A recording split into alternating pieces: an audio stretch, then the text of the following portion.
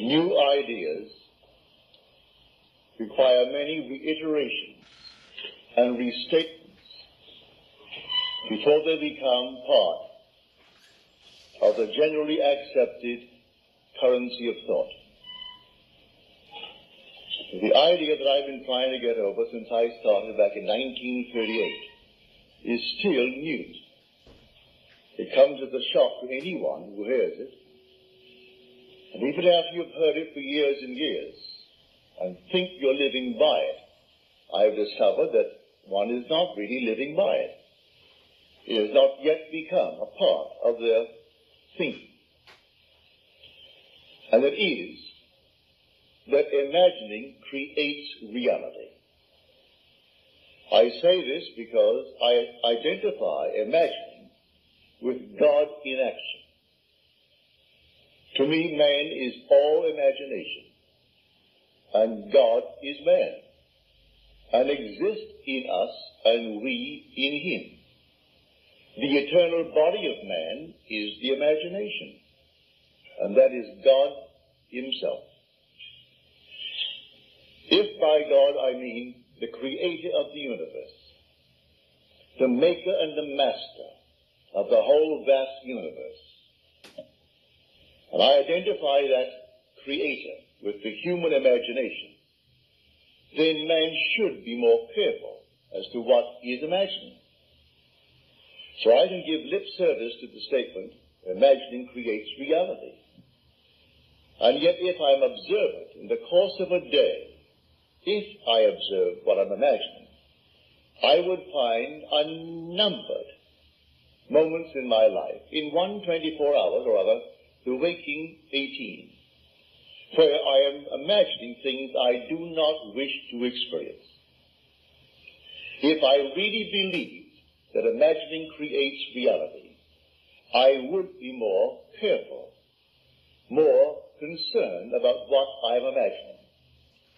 So I will give it lip service and say imagining creates reality and go blindly on imagining anything other than what I want to create.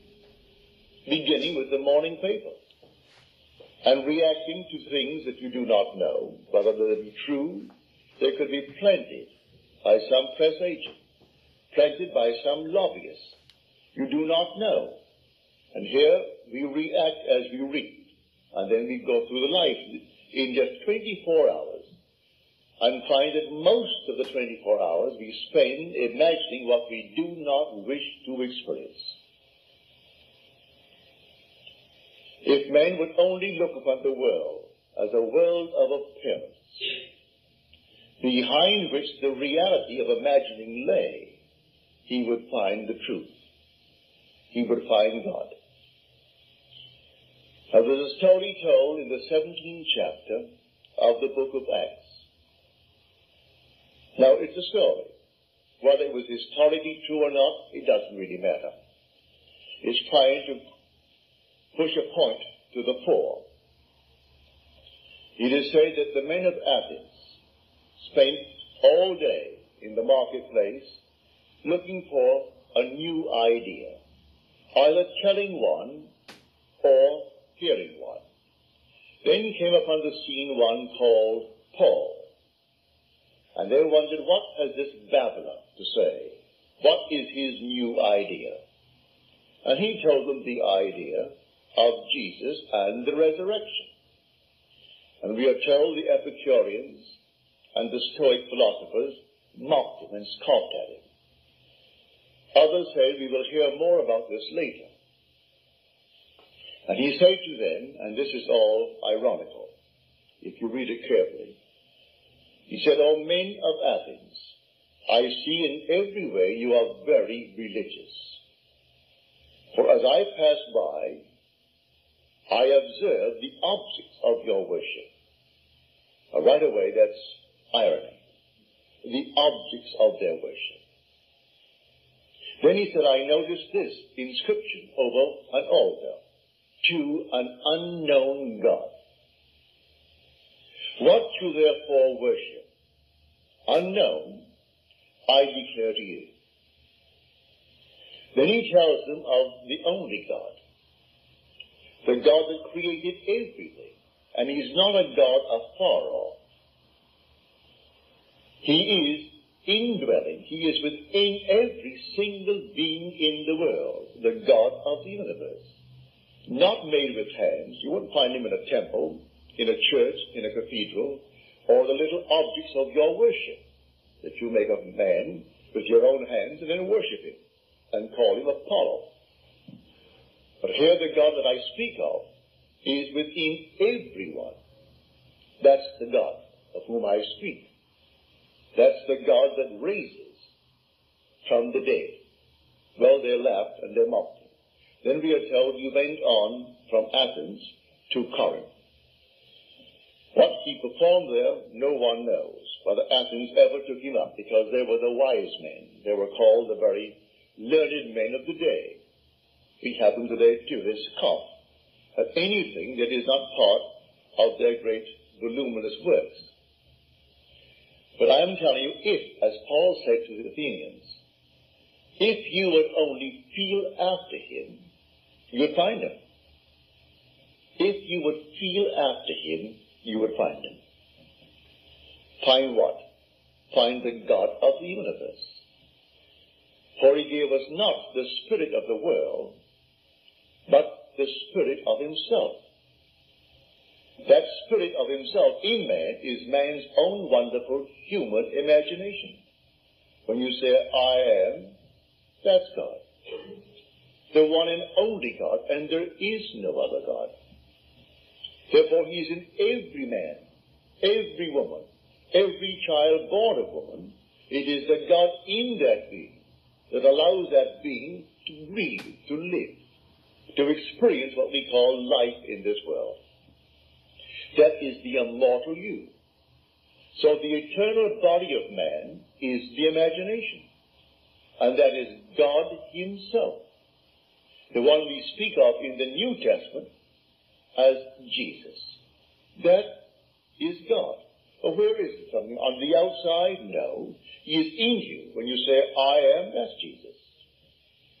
Now, the world is taught differently. Therefore, it comes as a shock when they hear it.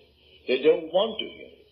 They will listen if they could simply improve their life in this world, get more money, do things that they want to do, and still hold on to this little object on the outside. So he spoke, I observe the objects of your worship. Well, man does that with what they call Jesus. They take their human hands, they make a mold of something, they call it Jesus, put it on a piece of wood, or put it on some, something else, stick it on the wall, and then cross themselves for good luck. There is the object of their worship, something they made themselves.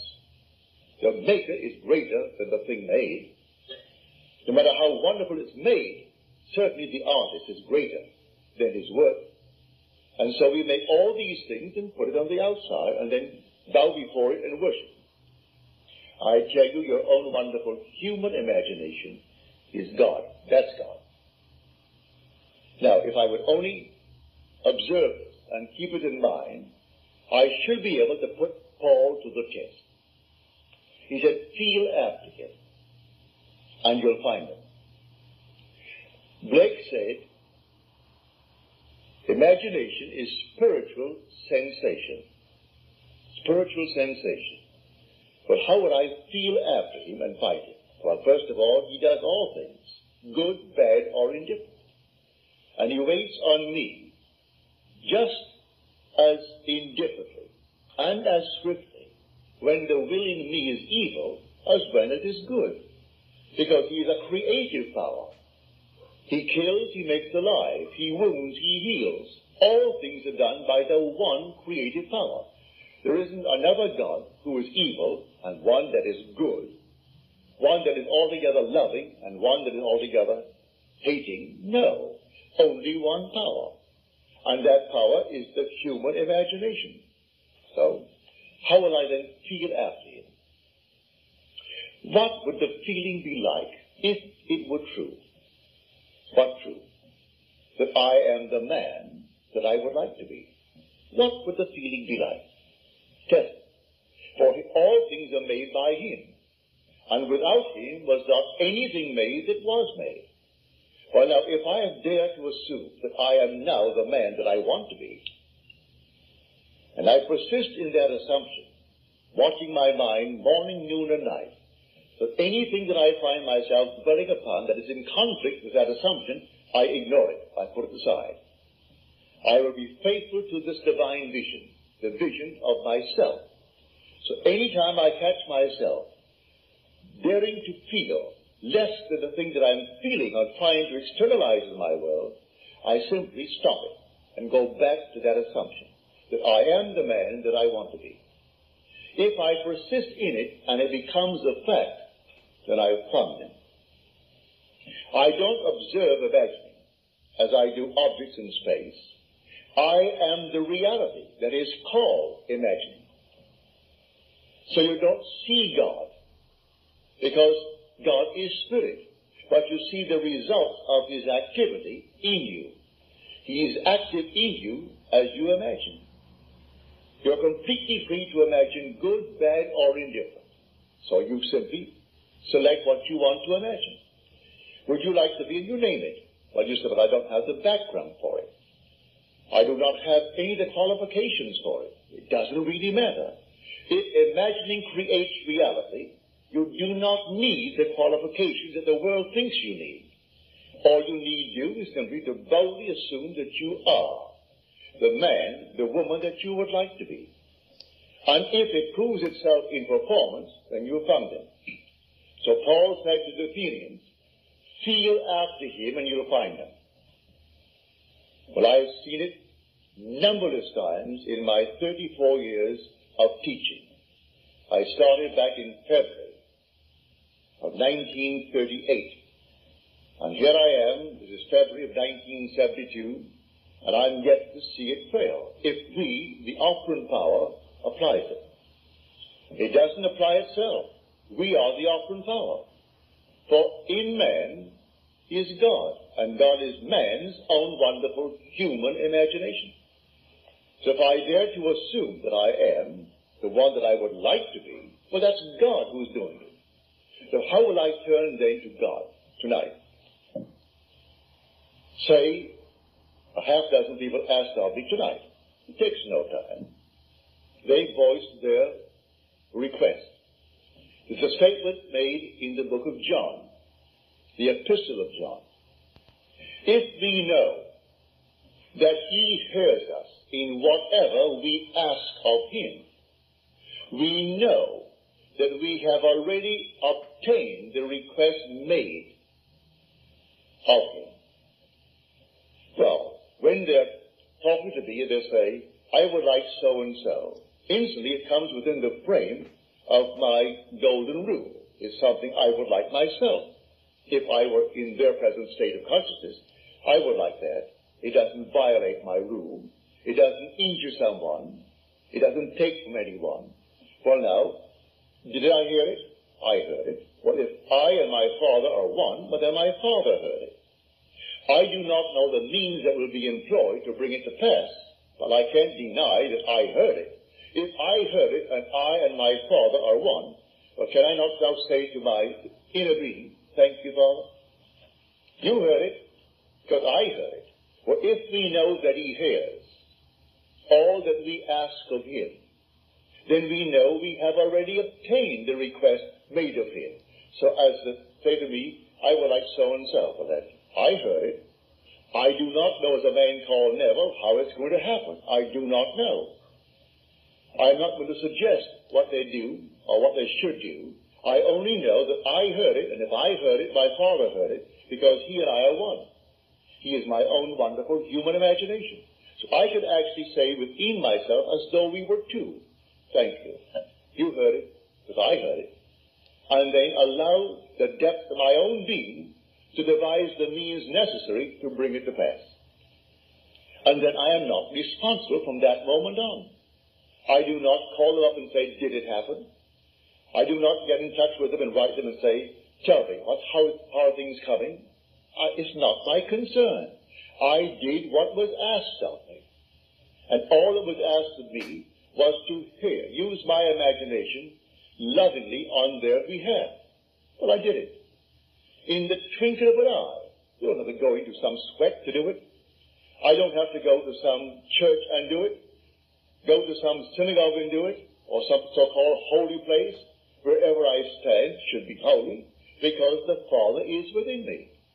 And where can you go to a more holy place than where God is? If I know God is my own wonderful human imagination, then where can I go that could be more holy than wherever I am, no matter where it is? So the request is made, I heard it, and then having heard it, I give thanks to the being within me who has the means, the wisdom, and the power to externalize it. Knowing that the entire outside world, that all objective reality is solely produced through imagining. What is now proven in the world was once only imagined. Try to deny that. Try to deny it.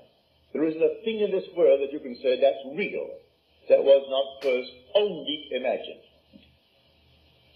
So I say to everyone here, take, say, feel after him, and you'll find him.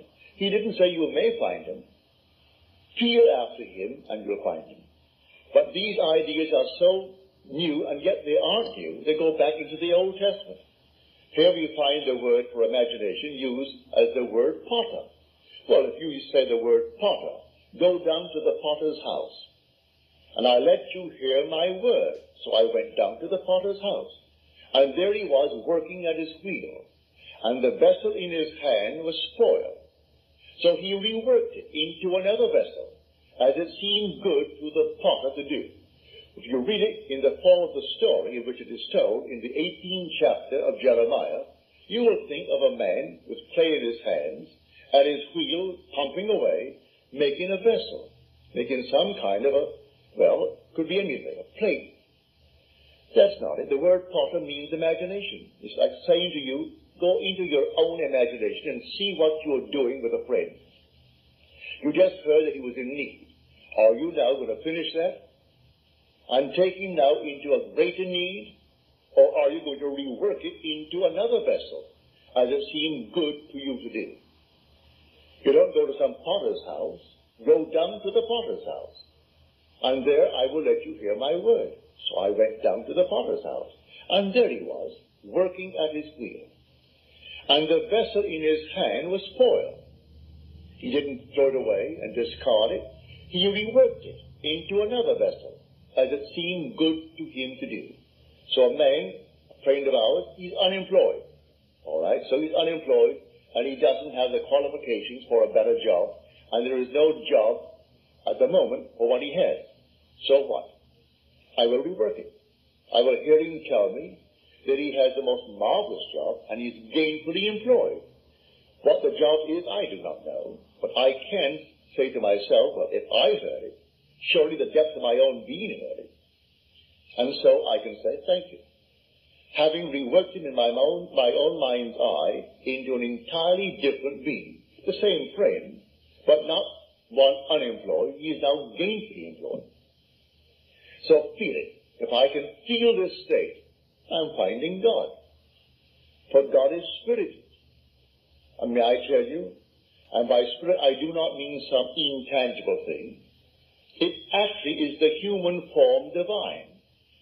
When I speak of the human imagination, it is a form, it's a reality. It is the divine form. So the eternal body of man is the human imagination. And that is God himself. And there is no other God. He said, I kill and I make alive. I wound and I heal. I do all things and none can deliver out of my hands. This is scripture. But man, when he hears the word God, he thinks of something out in space. Where? He doesn't quite know, but something in space. If the word God in any way conjures within you something that is other than your own wonderful human imagination, you've got the wrong God. If the word Jesus causes you to think of a man who lived 2,000 years ago and died 2,000 years ago and rose 2,000 years ago, you got the wrong one. You're told Jesus is within you. If he's within me, I should find out exactly where he is in me. And then who is he? Well, I found him. He is my own wonderful human imagination. That's Jesus. And all that is said of him, every child born of woman is going to experience to discover he is Jesus, and there is no other Jesus. So you're told in Scripture, in the 17th of Matthew, in the end there is Jesus only. Why? You're told now in the book of John, the epistle of John. And when he appears, we shall be like him.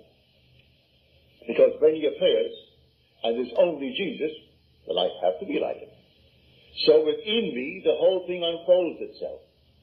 And everything said of him, at least whether people believe it or not, I have experienced. And personally, I do not care whether they accept it or not, any more than Paul did. The wise men, the Epicureans, and the Stoics, they scoffed at him, and they laughed at him, mocked him. So he went on to Corinth. He simply did the work he came to do, so he told the story. And said, you're worshiping what? Something on the outside. And here you put an inscription over the altar to an unknown God. You say the unknown. What you know Power say of. is unknown. I will tell you of a known God. Now take my word for it and feel after him, and you'll find him. How would I find? Well, tonight, if I wanted to be in New York, and I put my body down in the bed tonight, when I go to bed, I must assume that I am already in New York. Well, how would I know that I am there? If I am all imagination, I must be wherever I am in imagination. Well, if I am in imagination in New York, now think of the world. Think of California. Southern California, where you place the body. Well, do you see it on the bed as you're thinking? Well, then you're not in New York. Do you see it 3,000 miles away to the west of you? Well, then you are in New York. But were you in New York, you would see the body in your mind's eye 3,000 miles away in Los Angeles. And you'd be thinking from New York rather than thinking of New York. So the whole thing is simply finding out this fantastic power, creative power in man, and how it operates. For there is no problem in the world comparable to this problem of solving the mystery of imagining. For supreme power and supreme wisdom and supreme delight is in store for the one who conquers this mystery. So, whether you be in jail, all right, so you're in jail, and you dare to assume that you're free. You aren't going to break through the doors and be picked up and be sent to a longer term. You simply assume that you're free. Who today on death row? Many of them prayed that their sons would not be put in the chamber. And they believed their prayers. And so the Supreme Court brings in a verdict, no more killing of men because they kill someone. Whether you approve or disapprove, that's not the point. All things are possible in God's will. All things. So I'm not going to pass any opinion whether this thing is right or wrong. I'm not going to be involved emotionally as to whether they did the right thing or the wrong thing. I only know from personal experience if I had a son there, I want him free. If he were there, he's not there, but if he was there, I want him free. Regardless of what he did. As one who loves his son, I want him free. But I am not going to pass any opinion or any judgment concerning the Supreme Court's decision. The thing is, all things are possible. You tell me what you want, and if it comes within the framework of what I call the Golden Rule, which is simply doing unto others as you would have others do unto you. If it fits that frame, well then, you are on the right course. Well then, you can't do it physically, no. You don't have the power or the wisdom to do it. But there's something in you which is your essential being. It can do it. It knows exactly how to do it. Can you trust it? Can you trust this being within you to have heard what you heard? I heard it on this level, the request made. And if I heard it on this level, certainly, the depth of my own being heard it, And on that depth, he has ways and means I do not have on this level. Therefore, I'm not concerned as to how it's going to work. I only know it will work. By simply assuming that I am already the one I want to be. And if I dare to assume it and remain faithful to it, then it becomes a fact. So imagine, plus this kind of faith, faith in God. And God is your own wonderful human imagination. So faith in God is the way to success. You imagine it as though it were true, and then you walk your way, not knowing how it's going to become true. But it will become true. I invite you to test it. Just try it. Cost you nothing. And if I take from you your gods, as Paul took from the Athenians their gods, then it's a blessing. If you can lose your God, it's a good thing because the real God you can't lose. And you can never lose me. You can never lose the sense of I am.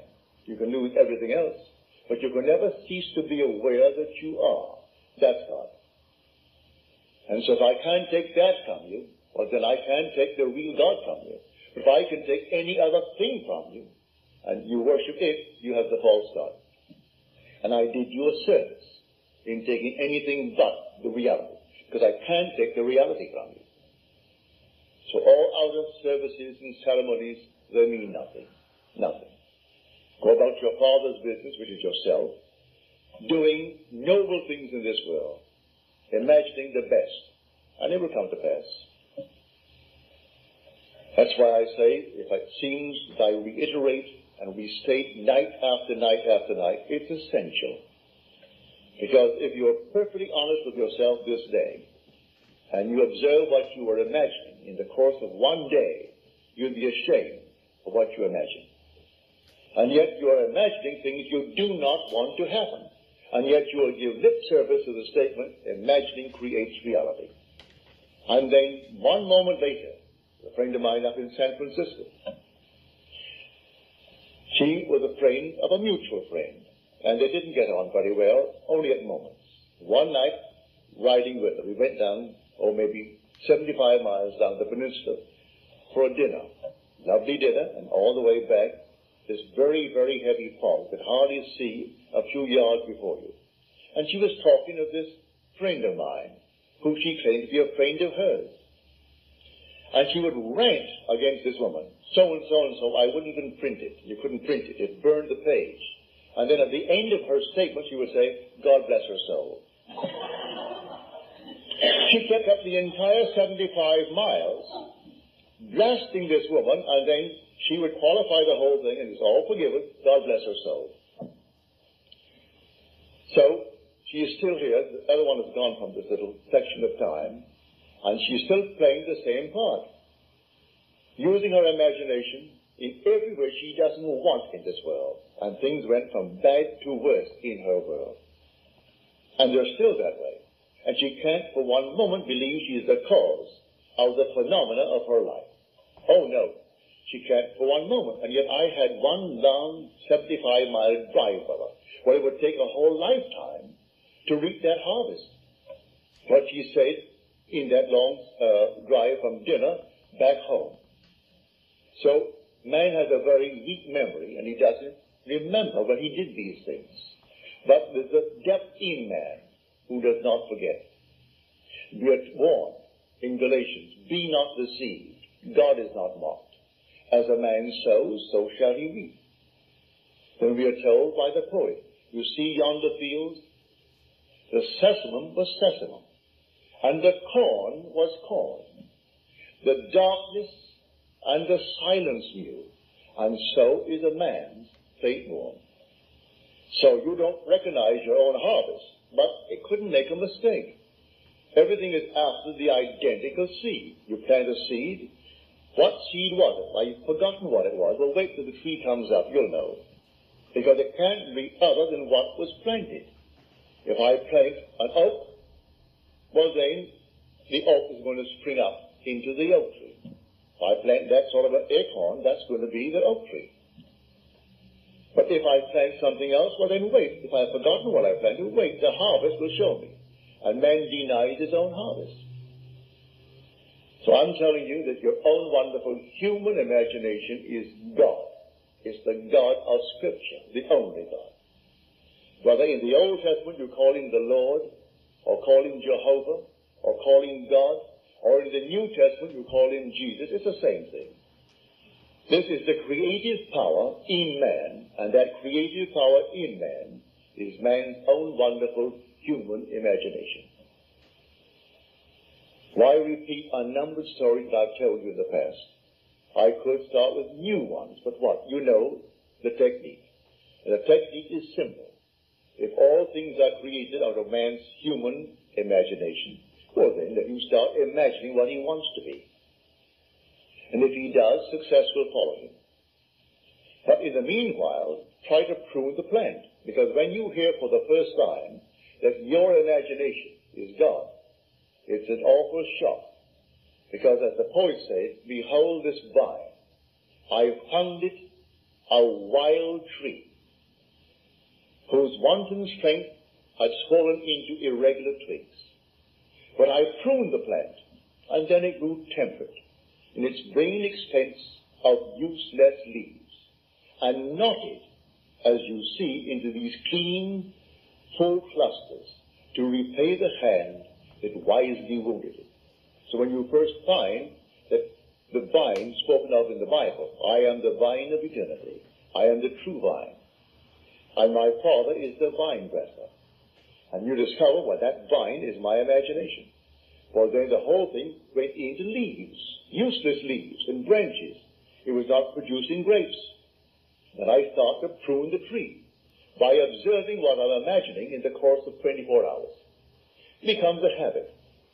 Then the next day, I do a little bit better. The third day, better still. By the end of a week, I am in the habit now of watching what I'm imagining. And don't wait, instantly prune it. Stop it. Stop imagining. Don't indulge yourself. I have heard people say to me, but just one more second. It's such a pleasant thing to cut him off. And so in his mind's eye, he's cutting off someone, all in his imagination, knowing he's going to reap the fruit of it. Now, if you know that, you aren't going to simply spend an extra five seconds of precious time in finishing that emotion, stop that emotion, and get on a new trend. And then that's you prune the plant. And finally that plant's going to reward you with clean, full clusters because you wisely wounded it. And then you keep that vine going, and the vine will pay enormous dividends. I know from experience. When you go to bed at night, let your last thought be something noble, something wonderful, that you are now, or those you love are now, what you would like to be, and drop off into the deep in that state and make it a habit. As we are told, you plant a seed, and then the seed becomes an act, and the act becomes a habit, and the habit becomes a character. So if I seem to repeat myself, it's because I have to. Because if anyone here tonight could honestly tell me that in the course of 24 hours, they have observed what they were imagining and had not a thing to find fault with. Well, I would like to hear that, and I will not call you a liar because I'm not here to judge. But it would be a marvelous thing if you could tell me that. But I know that all of us are victims of habit, and we get into the habit of this internal conversations that are not pleasant. And we think that no one observes, no one sees. So as we are told in the book of Ezekiel, he said, Son of man, go down and see what the elders of the house of Israel are doing. So I went down to the house to observe the elders of the house of Israel. And there they were, each in his own room, carving on the wall. What wall? The wall of your own interior, the wall of the skull. And they were making abominable things. And they say, well, no one sees us. The Lord has forgotten us. They thought because they did it in the silence that no one knows, when the only reality is their own wonderful human imagination. And that is fully aware of what man is doing, and rewards man, good, bad, or indifferent, with his imaginal act.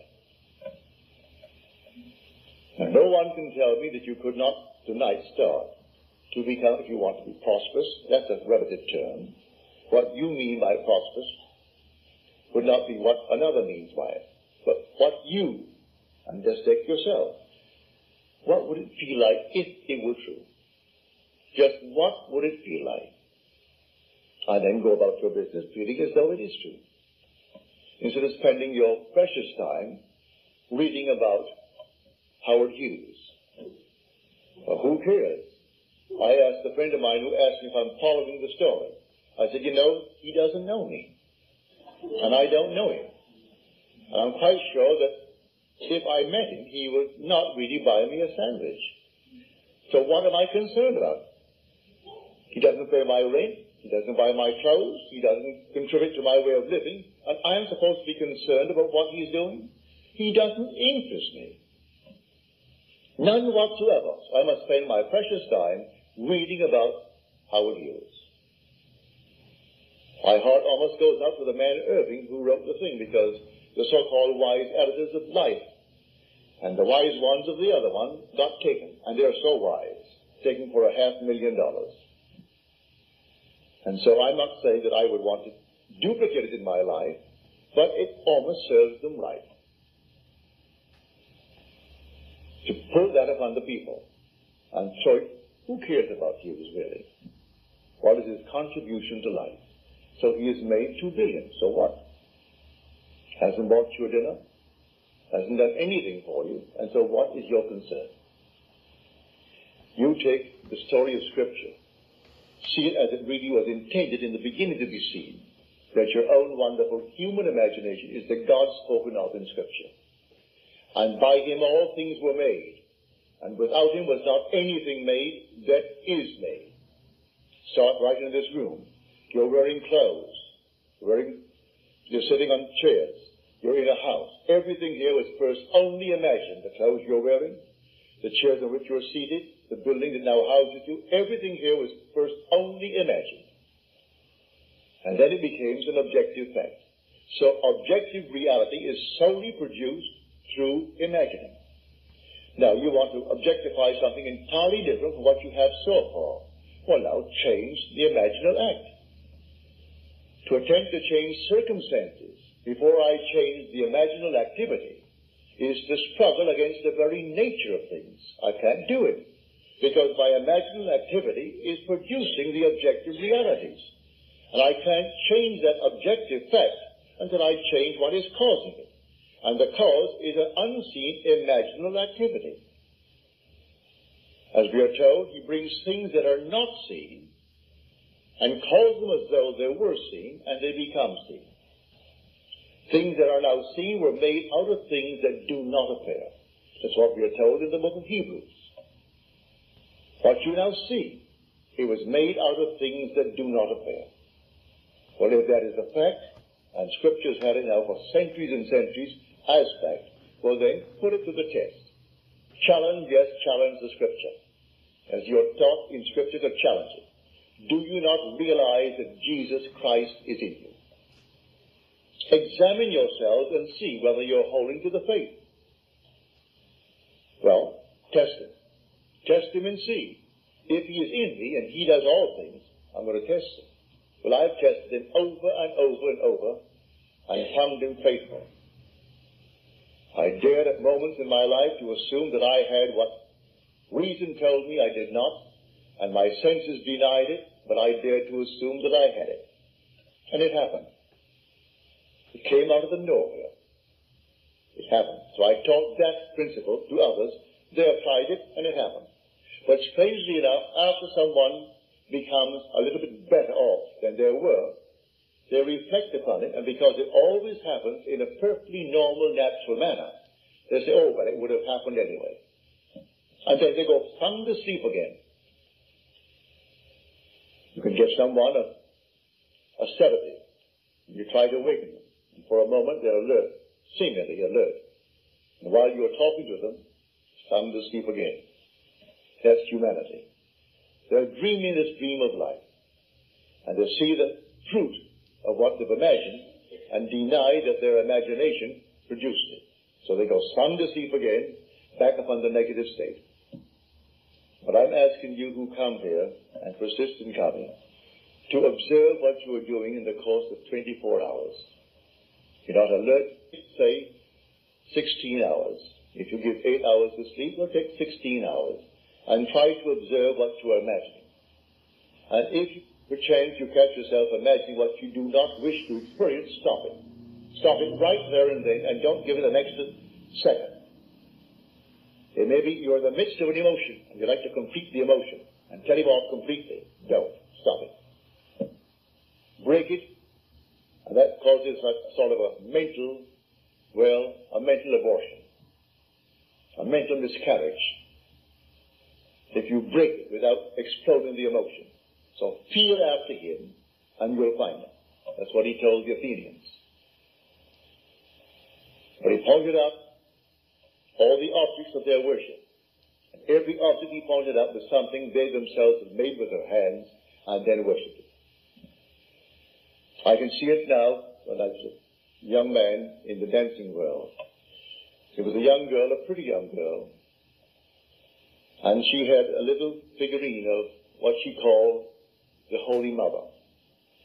And before she took the, the stage, she would kiss it. The whole thing was just simply brilliant rays of her kisses. And she really thought that gave her success. She'd kiss it and smother the kisses, and on the stage she would go, and that was her little object of her worship. She thought that really was the Holy Mother.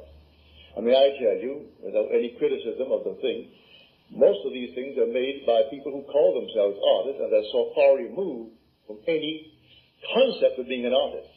They're monstrous things made by the millions, not by good artists at all. But she had her little one, and sitting on top of the stage, her little dresser, and she would smother it with kisses, and then dash on the stage and she danced. I went to a party once. These boys, one was a priest or was going to be a priest, and he quit to join the war. The other, they all went into the army. One came out dead. One came out with one foot missing above the knee and an arm. And this one who was the priest, or to be the priest, he came out with something else. Didn't go back into the priesthood. But they all wore their St. Christopher medals when he dived into the pool at their home. And they attributed their recovery, or their so-called coming out of the army, to St. Christopher. That was before St. Christopher was demoted. Uh-huh. He's now demoted. The Pope just said there was no such a thing as St. Christopher. But now, before that, they attributed the entire thing to that. One with a foot missing, arm missing, one deaf, and one with TB, and that is simply Christopher. He didn't do a good job. But they actually were completely, I said to my wife, I said, darling, suppose they know what I teach. Suppose they have heard what I teach. Would they have me here? Oh, she is certainly to have you here, because as far as they're concerned, you aren't saved. You couldn't be saved. You are Protestant. So how could you be saved? They loved my father dearly, said my wife. Loved him more than they loved their own people. But he couldn't be saved because he was a Protestant. Therefore, it doesn't really matter what you do. So don't be concerned if they knew that you were teaching, they wouldn't even pass an opinion because it doesn't matter. Only what they have been taught to believe is true. And that's the only truth. Therefore, enjoy the day. So I did. I enjoyed the day and observed all this nonsense. So I'm telling you, your own wonderful human imagination is God. There is no other God. If you think there's another God, then you've got two gods. And you start with two, you're going to have four. And four is going to give you eight. And eight, sixteen. And then you have millions of gods. There's only one God. Hear, O Israel, the Lord our God, the Lord is one. And that God is I am. That's his name forever and forever and forever. And when you say I am, you're actually announcing the fact that you are imagining. That is imagination. That's God. And it's the human imagination, and it is the eternal bot of the Savior. And the only Savior is the Lord God. I am the Lord your God, the Holy One of Israel, your Savior. And besides me there is no Savior. So the Jesus of the new is the Lord God of the old. And where is he? In man. He gave us not the spirit of this world, he gave us the spirit of himself. And that spirit of himself is in man as man's own wonderful human imagination. Now let us go into the silence.